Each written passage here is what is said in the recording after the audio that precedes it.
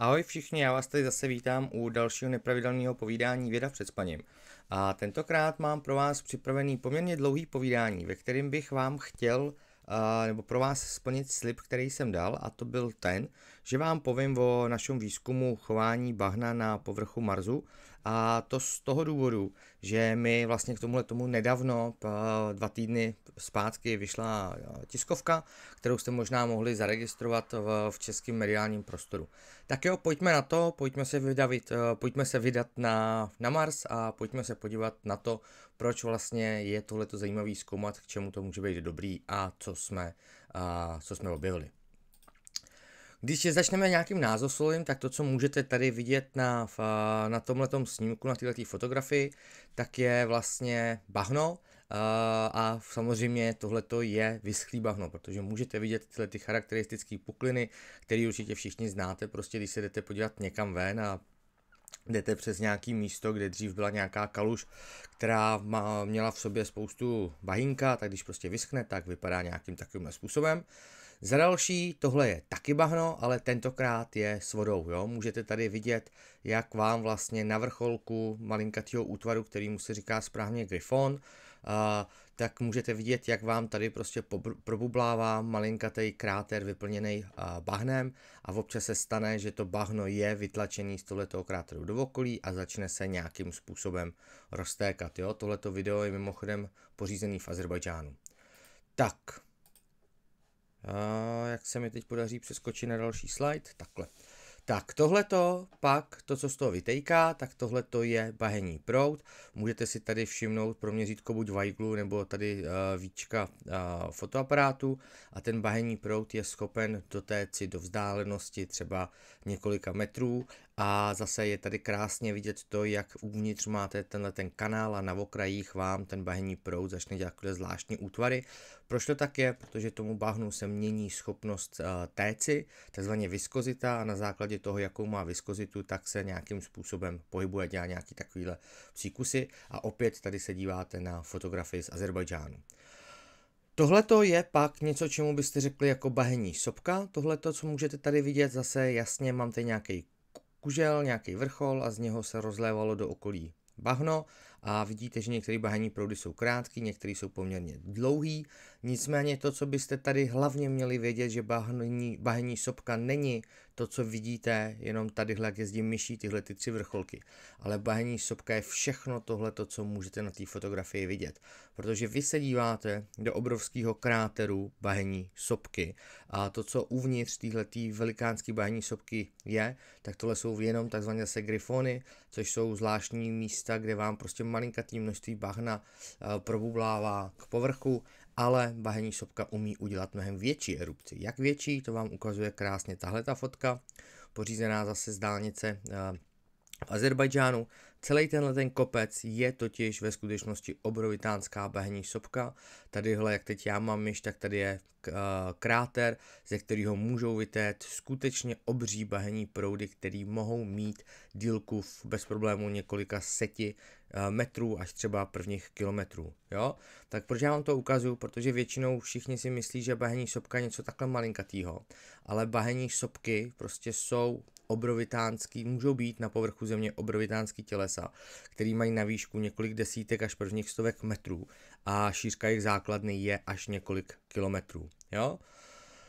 Tohle to samozřejmě pak už nejsou bahení sopky, to na co se tady díváte, tak je Země a Mars. To, co byste měli chtít uh, vědět a znát, je to, že tyhle ty planety jsou rozdílně velký, jak vám ukazuje tahleta, uh, tenhle ten sl- složený snímek. Samozřejmě nejsou takhle vedle sebe, Nicméně podstatně je to, že jelikož jsou rozdílně velký, tak jsou, mají rozdílnou hmotnost, to se projevuje v tom, že mají rozdílnou gravitaci.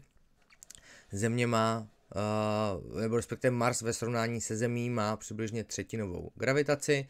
To, že mají nižší gravitaci a že jsou menší, tak pak vede k tomu celou sérii nebo celou, celým řetězcem vzájemných spojitostí pak vede k tomu, že na povrchu je mnohem nižší atmosférický tlak. Proč to tak je? Protože jak je Mars menší, tak rychleji ztratil teplo, nemá tolik aktivních sopek, nemá ani magnetický pole, který by ho chránil před uh, okolní kosmickou radiací.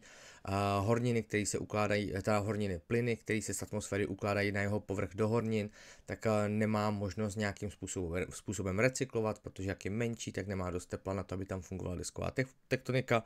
Jo, to, co se vám tady snažím teď složitě vysvětlit, je jenom to, že prostě na povrchu Marsu je atmosférický tlak mnohem menší než na povrchu Země. A to tak moc, že na, na Marsu se většinou uvádí, že ten průměrný atmosférický tlak je okolo 7 milibar. To, že Mars má mnohem tenčí atmosféru, pak vede i k tomu, že nemá tak silný skleníkový efekt ve své atmosféře a proto teploty na jeho povrchu jsou mnohem nižší než na povrchu Země. Průměrná teplota na povrchu Marsu je nějakých minus 60 až minus 70 stupňů Celsia. Jo? Tak, teď vám chci ukázat vlastně, nebo vysvětlit, jaká vůbec byla motivace toho, abych já se někdy do zkoumání uh, chování bahna na povrchu Marsu dal.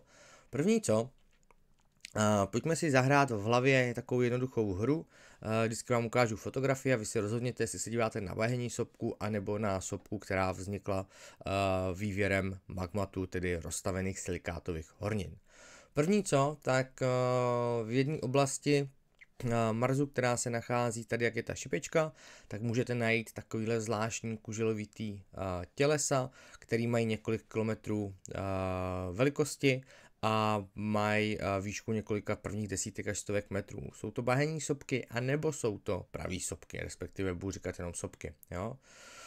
Když si dáte tu práci a do vědecké literatury, můžete snadno najít článek, koukám, který jsem tady nepěkně uříz, snadno můžete najít článek, který říká, hele, tohle to jsou bahení sopky, napsal ho Jim uh, Skinner a Kenneth Tanaka. Nicméně současně tady je článek, který jsem napsal já s kolegou Enstem Haubrem uh, z Německa a my říkáme, ne, ne, ne, tohle nejsou bahení sopky, tohle to jsou uh, obyčejní sopky. Kdo z nás má pravdu, nedá se říct. Jo. Ty, ty data, které máme v současnosti k dispozici, tak nám umožňují obě dvě tyhle ty interpretace. A každá z nich přitom eh, úplně vede jako k rozdílnému pochopení vývoje této oblasti. Kdyby tohle to byly bahenní sopky, tak to značí to, že se vám pod povrchem musí nacházet nějaký obrovitánský zdrojový oblasti pro pardon, pro bahna. No a kdyby tam uh, byly pravý sopky, tak zase naopak vám to říká, že pod povrchem musí být dostatečně velký teplo na to, aby tam prostě někde vznikalo magma a to magma se pak mohlo dostávat na povrch. Stejně tak, když se podíváme tadyhle do uh, oblasti Hydraulte Skulls, tadyhle máme jakhle krásný kuželovitý tělesa, které jsou uh, umístěný na takovýchhle zvláštních uh, takovýchhle zvláštních jednotkách, takovýmhle zvláštním povrchu. Zase co to je, jasně, můžete najít uh, články, které vám říkají, hele, tohle to jasně, to jsou pravý sopky, protože vypadají přesně jako si paní kůžele a to, na čem leží, tak jsou bahenní sopky.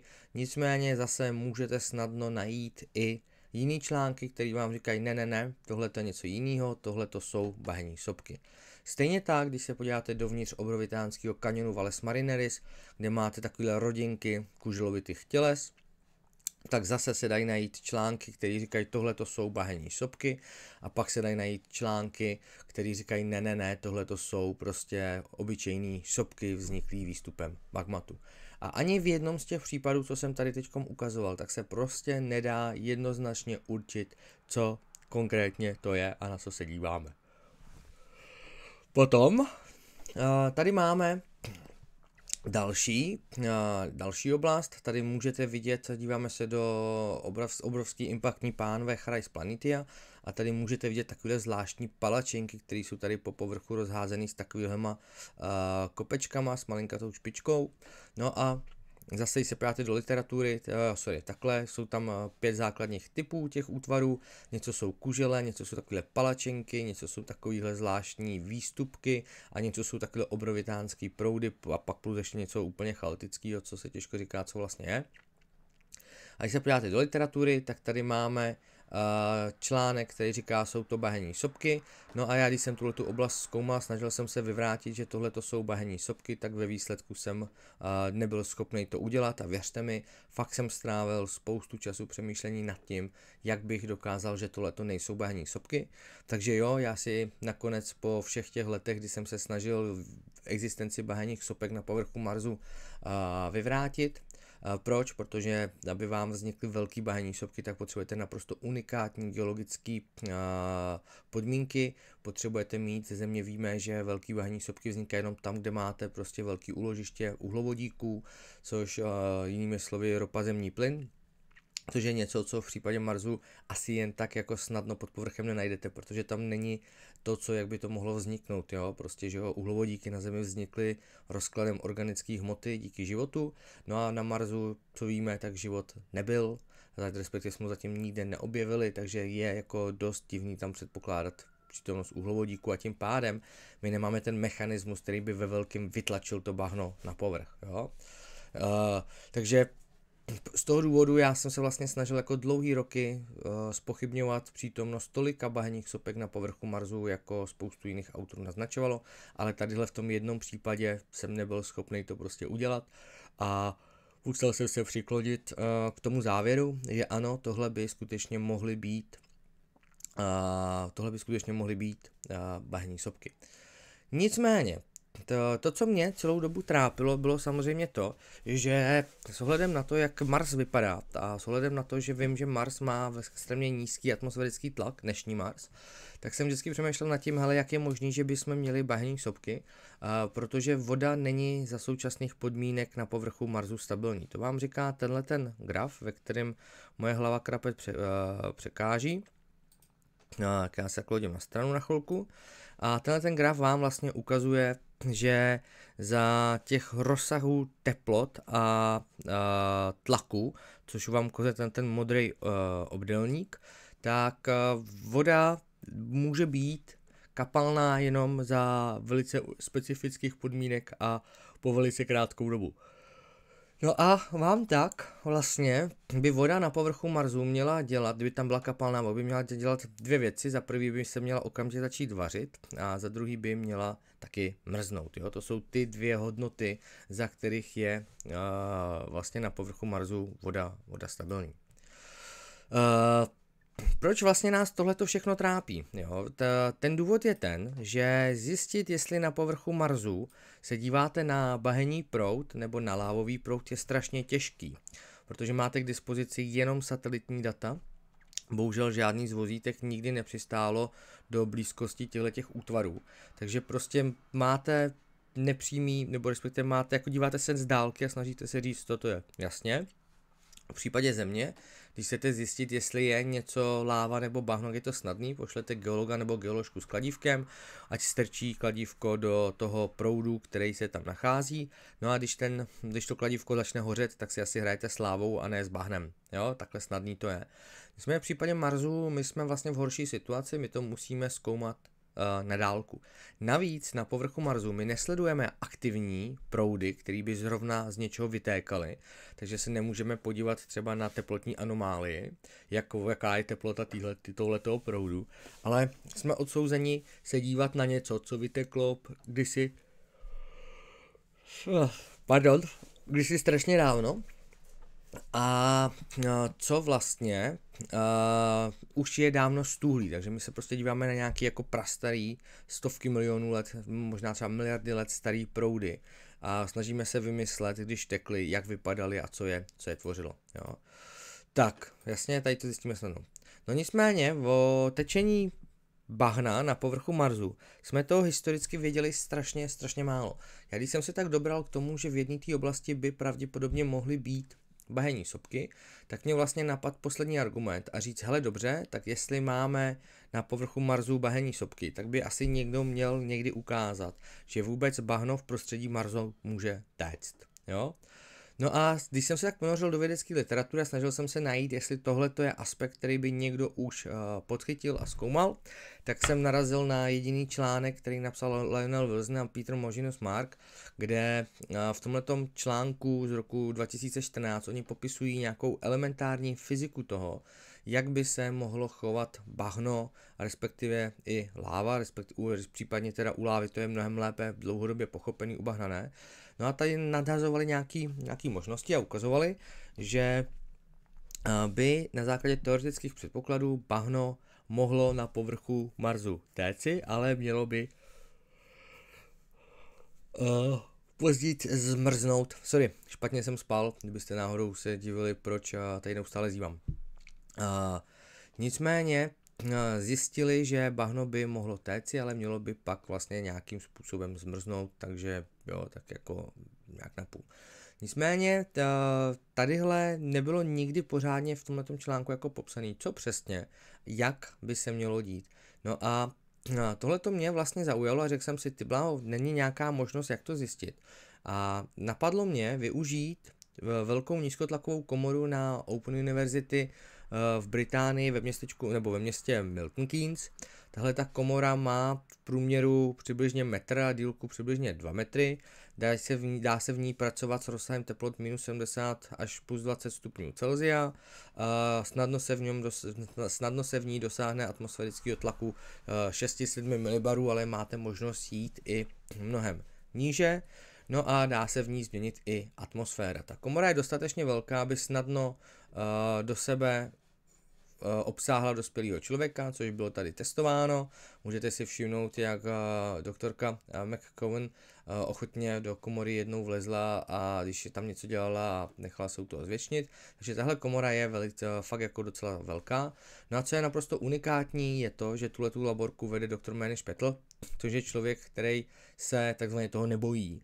Valná většina nízkotlakových a vakových komor, totiž je lidi, který, ma, který je mají, tak se je snaží udržovat co nejvíc čistý, protože v nich testují elektroniku a třeba části sond a podobně. No ale tady ten člověk, který má tuhle komoru, tak on je úplně v pohodě s tím, že ji strašně zneřádíte, jo, že v ní budete dělat šílený geologické experimenty.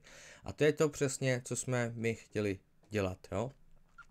Uh, my jsme v roce 2019, 18, uh, možná prosinec 2018, tak jsme vlastně si jeli do Británie hrát s, s bahnem, což uh, tady můžete vidět, že máme s nějakým způsobem v rodině, protože tady mal, jeden z malých brožů si totiž uh, zkušeně s bahnem hraje taky. Co jsme v podstatě šli udělat je, že jsme měli kontejner, řekněme takový kyblík, vyplněný půl litrem bahna a ten jsme vylejvali na povrch uvnitř vakové komory a dívali jsme se, co se stane, když to bahno vylejeme, jakým způsobem dál poteče. Tenhle ten experimentální setup vypadá strašně jednoduše, strašně snadně, jenomže samozřejmě problém je ten, že jakmile vy jednou budete dělat v eh, pokusy do vakové komory, když tu vakovou komoru zavřete, tak už nemáte možnost ten experiment nějakým způsobem zachránit. Když se vám něco nepovede, prostě musíte počítat s tím, že z toho bude jako strašný, strašný peklo. Jo? A to jo, jasně, já to vám ukazuji tohleto video, nám se prostě spoustu věcí prostě nepodařilo, měli jsme spoustu uh, drobných zaškobrtnutí a vždycky jsme museli uh, nějak ten experiment nějakým způsobem pak upravit upravovat, takže začátku jsme měli fakt jako řadu, řadu nezdarů. Nicméně časem jsme uh, to, to zvládli docela dobře. No a tady můžete vidět jako výsledek jednoho experimentu, který pro vás bude velice nudný. Ten je jenom, aby vám ukázal, co vlastně čekat od bahna, který jsme rozlívali. Můžete vidět, že bahno, který jsme vypouštěli, by mělo extrémně nízkou viskozitu, to znamená, že velice dobře teklo, chovalo se podobně jako, skoro podobně jako voda. No a tady ho z toho kontejneru vyléváme na povrch, který je ukloněný 5 stupni a je tady, je tady uh, vrstva písku, která má přibližně 2 cm, no a teplota toho písku je minus 20 stupňů Celsia. Jo, tohle je něco, co znáte prostě z každodenního života, když se zaprší a udělá se někde bahno, tak to prostě teče přesně takhle. Jo, žádná, žád, žádný velký překvapení pro vás, jo, ale potřebuji, abyste měli nějakou referenci. Když potom ten prout doteče, my jsme to uh, sešli podívat, jak ten prout vypadá, můžete si všimnout, že tady máme malinkatou vrstvičku jílových částic, pod tím se nachází vrstva písku smíchaná sílem a pak se nachází vrstva písku, do kterých se pouze vsákla voda. Jo? Tak, jdeme na ten samý experiment. Všechno je úplně stejný a jediný rozdíl, který se tady stal, je ten, že jsme změnili atmosférický tlak. Najednou vyléváme bahno za atmosférického tlaku, za průměrného atmosférického tlaku, který je na povrchu Marsu, což je nějakých 6-7 milibarů. Jo, jdeme na to. A na první pohled si můžete všimnout, že najednou se nám to samý bahno na tom samém písku chová úplně jinak. Jo. Vidíte, že dělá takový zvláštní hady. Jo, ono sice teče, ale neteče tak jako předtím. Nedělá tu rozsáhlou zaplavenou oblast, ale vytváří takový prstíky, které se roztékají do okolí. A často si můžete všimnout, že vlastně na těch prstíkách vznikne nějaká nějaká skrusta, nějaká skořápka, ale pak na konci ten prstík praskne, něco z něj vyteče a vlastně teče, teče dál. Jo? A tohle ty pokusy pro nás byly obrovitánským překvapením, protože nám vlastně ukázali, že bahno na povrchu Marsu, kvůli tomu, že je tam atmosférický tlak, jaký je, se chová úplně jinak, než jak jsme ze Země zvyklí. Jo? Je to tady fakt jako velice, velice dobře vidět. Potom, když ten experiment skončil a my jsme ten, eh, ty bahenní proudy rozbili a podívali jsme se dovnitř, tak jsme si všimli, že vlastně ta krusta je tvořená ledem plus trošičku bahna. A občas v té krustě můžete najít velké množství uzavřených bublinek a taky ale co, tak uvnitř tadyhle těchto těch proudů můžete najít vlastně ob, eh, oblasti, tunely, které jsou vyplněny stále velkým množstvím kapalným, kapalného bahna.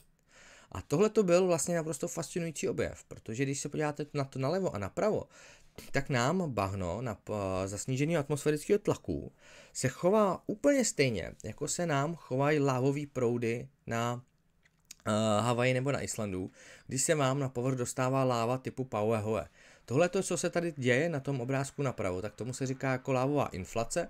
V podstatě jde o to, že vám vyteče někde láva, ona na povrchu stuhne, udělá vám krustu, ale ta láva neustále teče vlastně pod ochranou té krusty, takže dochází k tomu, že vám ty lávové proudy takhle nafukujou. No a když máte dostatečně velkou sílu nebo dostatečně velký tlak té lávy, tak ona je schopna prorazit tu uh, tu krustu, vyvalit se a udělat další výlev. No a my jsme vlastně experimentálně ukázali, že bahno, který strašně dobře teče, tak na povrchu Marsu by mělo tendenci se chovat stejně. Proč to tak je?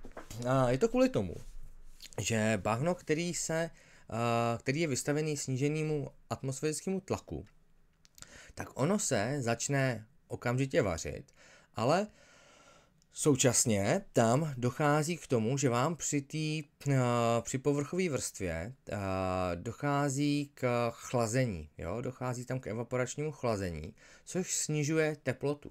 A vám v určitý moment dojde k tomu, že ta teplota uh, při hladině toho bahna poklesne natolik, že tam ta voda může začít mrznout. Vám tam začnou vznikat krystaly ledu, které se začnou spojovat a začnou vám vznikat, nebo začnou vám vlastně vytvářet ledovou krustu. Jo?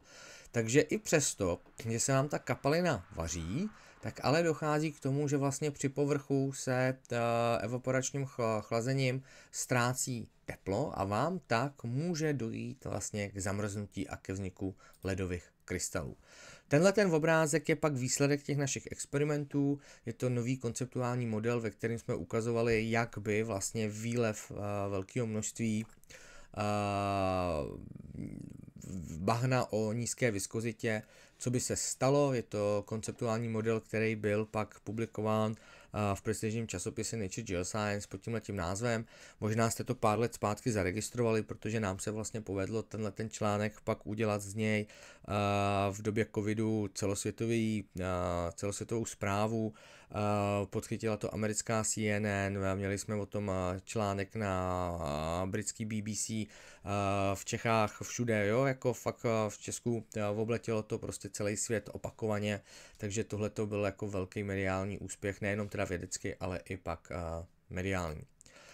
Dobrý, můžete si ale říkat jasně, ty experimenty, co jsme dělali my, tak jsou strašně malinkatý, jo, měli prostě tloušku několika milimetrů až prvních desítek milimetrů, pojďme si říct, jasně, ale bahení proudy na povrchu země jsou mnohem větší, co s tím? No a tady my jsme udělali pokus, ve kterém jsme zkusili zjistit, jestli je škálování problém. Udělali jsme takovýhle bazén, který jsme vyplnili 1,6 6 litra, litrem bahna, dívali jsme se, co se stane. Tohle to, kdybyste měli takovou komoru, určitě doma neskoušejte, protože to dělalo strašný bordel, jo. A když to ten inženýr, který za tuhletou komorou viděl, tak nám normálně na, na, na ferovku řekl, hele, tenhle ten pokus nejste, nebudete nikdy moc zopakovat, protože fakt kusy bahna lítali úplně všude a v té komoře se pak nacházeli několik měsíců po tom, co jsme skončili. Jo. Ale můžete vidět, že na začátku to bahno bublá jako blázen, pak bublá trochu míň, pak bublá ještě míň a když si to video dáme z boku a celý si to zrychlíme 50krát, tak si můžete všimnout, že jo, máme bublání jako blázen, ale po chvilce v této části, jak jezdím myší, tak vám normálně začne to zamrzat, začne vám vznikat led, no a ve výsledku stejně vám i tenhle, ten, tahle ta velká kaluž plná bahna, kde toho bahna bylo třeba řekněme 10 cm na tloušťku, tak vám stále zamrzne. A když jsme ho pak ten experiment ukončili, rozbili, a podívali se dovnitř, tak jasně stále tam bylo tekutý.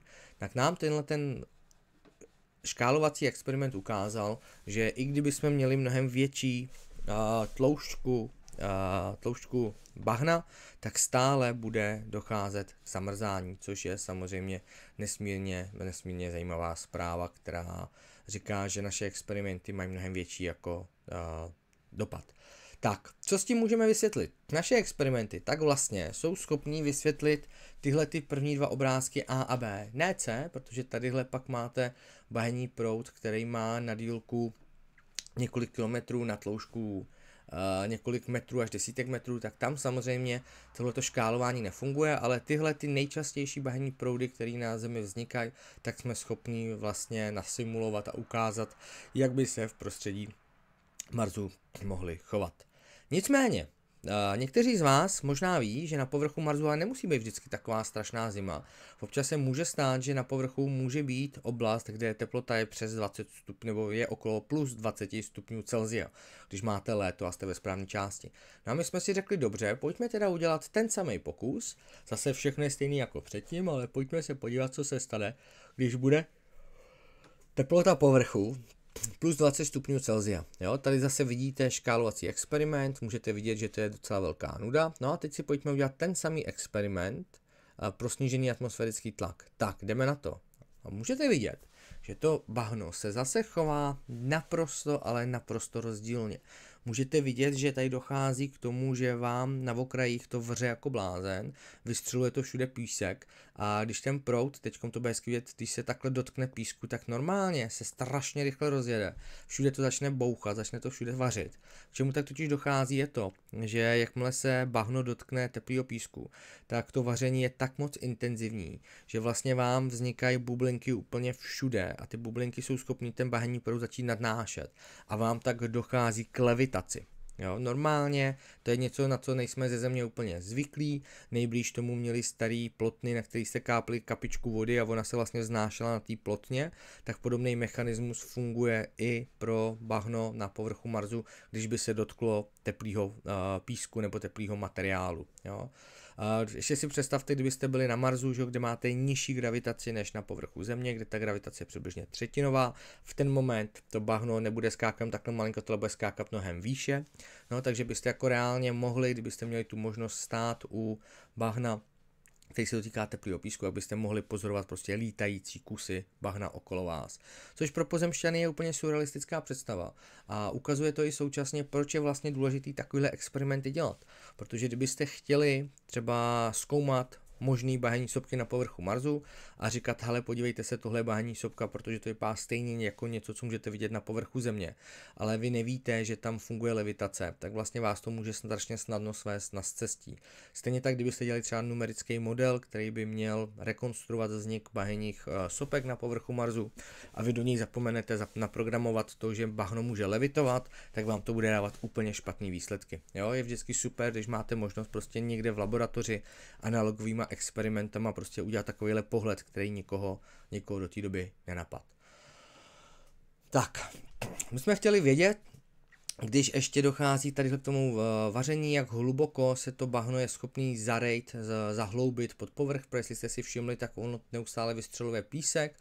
No a přišli jsme na to, že když jsme tam dali takovou velkou krabici vyplněnou ty byla já nevím, možná 150 kg písku, tak jsme si všimli, že se to nedostane hloubš než pár centimetrů, takže jo, tenhle ten proud se částečně pohřbívá do písku, vytváří na sobě písečnou krustu, ale zase se jako nepořbí zase tak moc hluboko. Opět, kdyby to někoho zajímalo, tak tadyhle je konceptuální model v tomto článku, je to všechno popsané, co jsme dělali, jak jsme to dělali, jo, takže když do toho kouknete, máte možnost uh, pochopit mnohem lépe, pochopit mnohem lépe, co jsme vlastně všechno, všechno udělali a jak a, a k čemu to vedlo. Jo? Tak, Někteří z vás zase pak ale ví, že bahno může mít i fakt obrovitánskou hustotu. Tohle je podle mě nejdivnější místo na této planetě, který já jsem navštívil. Jmenuje se to Koturdach, je to bahení sopka v Azerbajdžánu.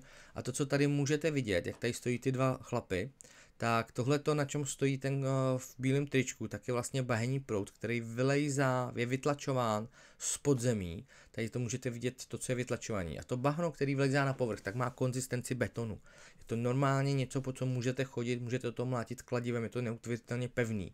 A představte si prostě tak, že vám uh, někde uh, na zemském povrchu nebo pod povrchem se nachází bahno, který má strašně vysokou viskozitu a vy když ho zmáčknete a vytlačíte na povrch, tak to vypadá, kdybyste vytlačovali prostě zubní pastu. Tak i takovouhle věc můžete prostě najít. Ale ukazuje vám to, že ne všechno bahno musí téct tak strašně dobře jako voda. A tímhle se konečně, tímhle strašně dlouhým povídáním, se konečně dostáváme k tomu, o čem mě vycházela tisková zpráva 14 dní zpátky, o čem jsme vydali nový vědecký článek, protože jsme se snažili pochopit a proskoumat, jak se bude chovat bahno, který bude mít vyšší viskozitu, když ho vystavíte nízkému atmosférickému tlaku. Jak jsme to zkoumali, vzali jsme plastovou krabici, do ní jsme dali plastový kontejner, vysypali jsme to pískem a tento toho písku jsme nalili vodu, dali jsme to celý do mrazáku, nechali jsme to zmrznout, protože jsme chtěli vědět, co se stane vlastně s tím bahnem o vysoké viskozitě, když zažije snížený atmosférický tlak. A tady můžete vidět výsledek těchto těch experimentů. Podstatný je tady říct, že ze spoda tam nic netlačí. To, co vy tady můžete pozorovat, tak je jenom výsledek poklesu atmosférického tlaku. A můžete si všimnout, že nám to bahno normálně samo vyleze z toho kontejneru ven a rozleje se nějakým způsobem do okolí a vytvoří takovouhle, takovýhle zvláštní pozitivní útvar. Jo? Tak, když si pak ukážeme další video z experimentu, tentokrát máme bahno, který má ještě větší viskozitu než na tom předchozím, tak si můžete všimnout, že vám to bahno prostě takhle začne vylejzat, začne vám praskat a začne vám v podstatě dýchat. Jo? Můžete vidět to, že ono leze takhle nahoru dolů, nahoru dolů. K čemu tady dochází? Tady totiž dochází k tomu, že tady dochází k tomu, že ten snížený atmosférický tlak společně se změnou viskozity nedovoluje snadný únik bublinek. Jo? Vám tak vlastně u tom, uh, když budete mít bahna, který mají strašně nízkou viskozitu, tak oni, když se vám začnou vařit, tak vám ty bublinky strašně snadno utíkají pryč a tím pádem se Eh, nezadržujou, nezadržujou v, v té v tý kapalině, v té suspenzi. Nicméně, když zvýšíte viskozitu a změníte schopnost látky téci, tak vám část těch bublinek vstráví v tom bahně mnohem delší dobu, nebo některý si dokonce zaseknou a vám tak samozřejmě začne se zvětšovat objem, jo? protože ty bublinky, co tam narůstají, tak oni vám vlastně uh, vytlačují tu kapalinu okolo. Je to stejný, jako když vezmete lahev minerálky, zatřepete ji a otevřete, tak vám ten plyn, který začne unikat, tak vám vytlačí tu kapalinu ven a vám vlastně, že ta kapalina vystříkne, jo? nebo u šampaňského. A když zvýšíte tu viskozitu ještě mnohem víc, tak ty bublinky v podstatě nemají možnost utíkat, protože oni nejsou schopní probíhat tím bahnem. Vám tak budou neustále narůstat a zvětšovat se, ale už nebude docházet k tomu, že by utíkali pryč. No takže my jsme vlastně experimentálně zjistili, že máte nějaké tři možnosti, Během první se objemově nic změnit nebude, druhý se objem měnit bude a bahno nám bude postupovat nahoru i do strany, protože má furt schopnost trochu téct. A ve třetím případě bahno nemá schopnost skoro vůbec téct, protože má fakt strašně vysokou konzistenci, takže dojde k tomu, že se nám jenom prostě vytlačí, vytlačí nahoru. Jo? Jak moc? Eh, snažili jsme se to kvantifikovat, snažili jsme to nějak měřit, zjistili jsme, že pro některých ty bahna může ta objemová změna dosáhnout až 30%, u některých jiných je to nějakých 10 až 15%. Pak jsme se taky snažili zjistit, jak hluboko by tenhle ten proces mohl fungovat, jak hluboko by uh, probíhal. A to z toho důvodu, že uh, samozřejmě, když si budeme hrát s bahnem, který má 10 cm, tak se nám vaří uh, v celém tom sloupci. Když budeme mít bahení sloupec o mocnosti třeba kilometru, tak samozřejmě otázka, jak moc ta část toho sloupce se bude vařit, protože tam, kde se to nevaří, nemůže docházet k té objemové změně, jo? takže jsme chtěli vědět vlastně, pro jak tlustý bahení proudy tahle ta objemová změna je podstatná.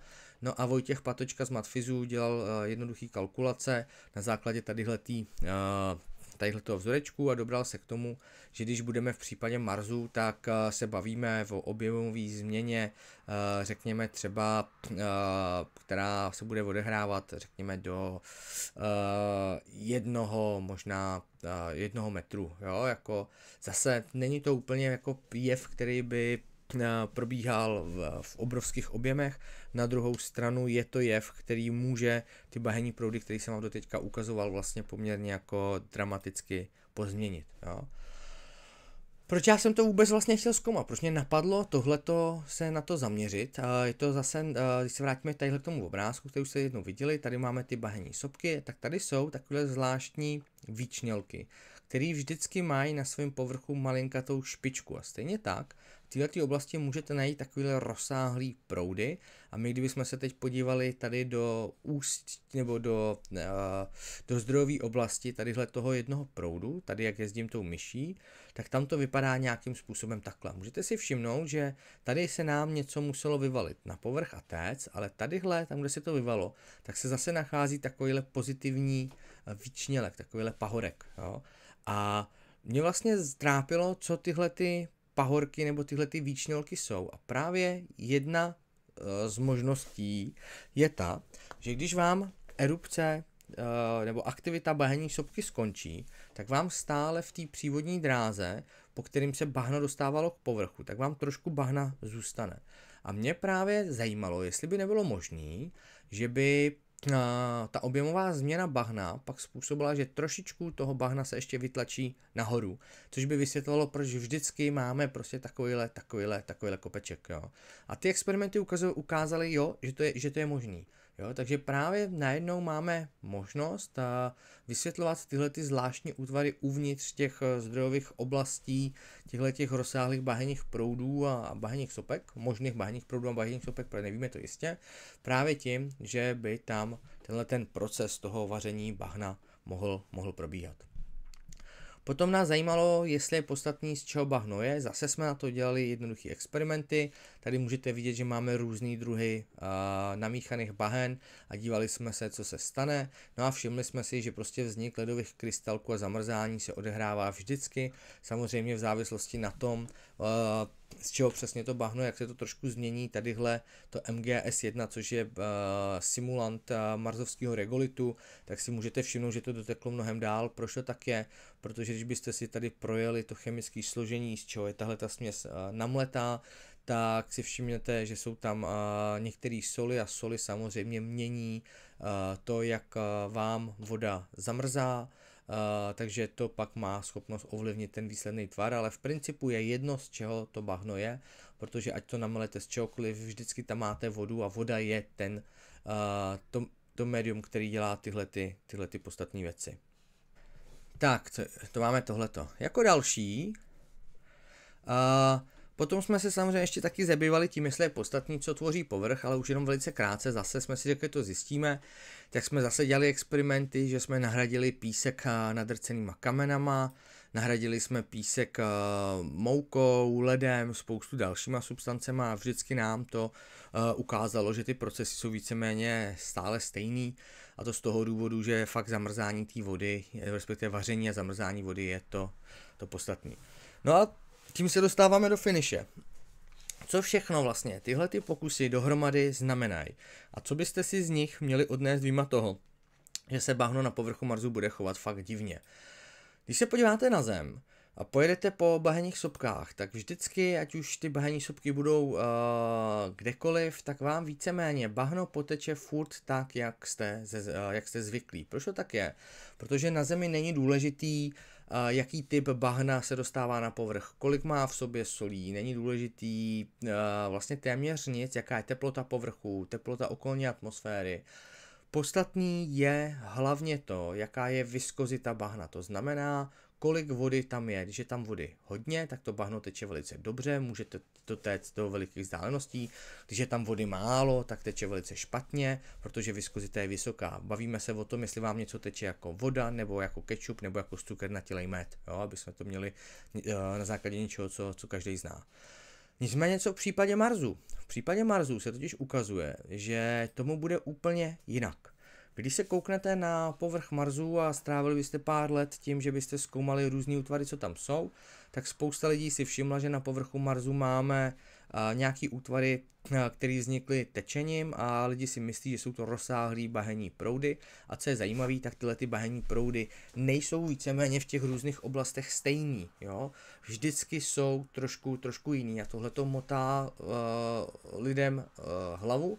No a naše experimenty ukazují, že vlastně to možné vysvětlení, jak je možné, že různý bahenní proudy v různých částech Marsu vypadají rozdílně, tak je to, že když se začnete zamýšlet nad podmínkama, které na povrchu Marsu panují, tak se to dá vlastně vysvětlit. Tenhle ten barevný obrázek, který vám ukazuju, tak uh, zachycuje uh, průměrný uh, atmosférický tlak v nějakých oblastech. A můžete si všimnout, že on se dramaticky mění. Když byste byli v této eh, rudé oblasti, což je impaktní pánev Hellas Basin, tak tam je atmosférický tlak až 14-15 milibarů. Kdybyste se nacházeli na vrcholku Olympus Mons, tak se nacházíte v místě, kde máte téměř vákuum. Tady máte atmosférický tlak nějakých 8 až 10 milibarů. Tadyhle máte atmosférický tlak vlastně 1 až 2 milibarů. Takže najednou ten rozsah tlaku na povrchu Marsu je enormní a tohle to samozřejmě může dramaticky pozměňovat to, jak se bude bahno chovat. Stejně tak vám se mění na povrchu Marsu teplota. Když budete mít výlev bahna tam, kde je teplej, teplejší povrch, tak se to bahno bude chovat jinak, než když budete mít výlev bahna v oblasti, kde máte studený povrch.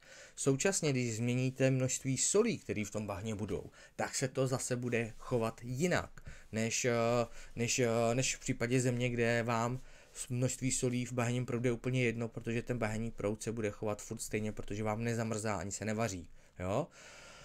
Za další, kdybyste se podívali na modely vývoje atmosféry Marsu, což je něco, co stále moc dobře ne, eh, nerozumíme a nechápeme, tak samozřejmě vám se mění uh, atmosférický tlak občas je vyšší, občas je nižší. A vy se tak můžete odsnout v situaci, že když vám bahenní proud začne vznikat v oblasti, v době, kdy je atmosférický tlak třeba uh, desetinásobný vůči dnešku, tak to bahno se vám bude chovat úplně jinak, než když vznikne o 50 milionů později, kdy bude atmosférický tlak třeba podobný dnešním hodnotám. Jo. Takže uh, my vlastně ukazujeme těma těma experimentama, že v případě Marsu, ano, může se jednat o bahenní proudy, a ano, můžou vypadat naprosto všelijak, protože je strašně důležitý, jaký byly okolní podmínky v době, kdy se to bahno dostalo na povrch. A tohle je vlastně jako uh, poměrně velký nový objev, který z těch našich uh, experimentů vychází. A to z toho důvodu, že uh, dává nám vlastně mnohem složitější pohled na to, proč můžou různé věci na povrchu Marsu vypadat jinak, než jak jsme ze Země zvyklí. Samozřejmě, když byste chtěli jít ještě dál, tak uh, tyhle ty výsledky ne, ne, neplatí jenom pro Mars, oni pomáhají pochopit vlastně třeba výlevy jiných nestabilních kapalin, třeba na ledových měsících a podobně, takže mají mnohem větší pak uh, dopad na plan, planetologickou komunitu, protože se z nich dá těžit i při výzkumu dalších, uh, dalších těles. Úplně poslední věc, vždycky se pak každý ptá, k čemu je to prakticky dobrý. Tohle to je krásná ukázka základního výzkumu. My samozřejmě vůbec netušíme, k čemu to bude momentálně dobrý. Zvyšujeme tu obecnou znalost lidstva tímhle tím výzkumem. Nicméně, když budete snílci a budete si říkat, hele, jednou doletíme na Mars, o čemž mimochodem mám video, který, na který určitě někdy koukněte, tady někdy dám záložku, když jednou doletíme na Mars, tak v případě Země valná většina těžby vytěžených materiálů je pak vlastně transportována ve v, vodním prostředí, protože to je snadný, jak to z místa těžby transportovat někam jinam, tak my vlastně třeba tímhle tím experimentem ukazujeme, co by se stalo, kdybyste tenhle ten samý mechanismus chtěli použít v případě Marsu, jestli by fungoval nebo nefungoval. Ano, on by vlastně z části fungoval, protože by vám vznikla ledová krusta, takže je dost možný, že z tady z toho výzkumu třeba jednou bude těžit někdo, kdo bude navrhovat nějaký uh, dopravník vytěženého materiálu uh, v prostředí sníženého atmosférického uh, tlaku. Já vím, že to zní jako absolutní science fiction, ale uh, momentálně ale nikdy nevíte prostě k čemu výsledek základního výzkumu bude dobrý a kde pak se najde ta průmyslová uh, aplikace nebo ta aplikovaný, ta, ta, ta aplikace, to, to, to, to využití toho výzkumu. Takže uh, nelámejte nad tím hůl, prostě základní výzkum uh, fakt uh, vlastně hledá odpovědi na otázky, na které se zatím nikdo neptá, ale fakt nikdy netušíte, kdy přijde ten správný moment a někomu se podobná znalost může, může hodit třeba i pro praktický využití. No a to je z mé strany všechno, jenom tady ještě si zaslouží zmínka t, nebo ukázat slide s celou řadou men, který na tomhletom výzkumu v průběhu let nějakým způsobem participo- participovali, takže Uh, ještě koukám, že mi tady chybí Věra Pěnkavová z, z jednoho ústavu Akademie věd, takže tu takhle zmíním slovy. Uh, nicméně uh, děkuji za pozornost. No a teď víte o chování bahna mnohem víc, než jste kdy v životě chtěli vědět a můžete se těšit, že příště se pak vydáme zase někam jinam a bahno už pak opustíme. Jo? Tak se mějte hezky, kdybyste měli nějaký dotazy, jasně napište do komentářů. Nezapomeňte si případně tenhle ten kanál dát mezi sledovaný, pak když budete chtít další dávku uh, uh, geověd ve svém životě. No a to už je fakt všechno, takže pěkný den, ahoj.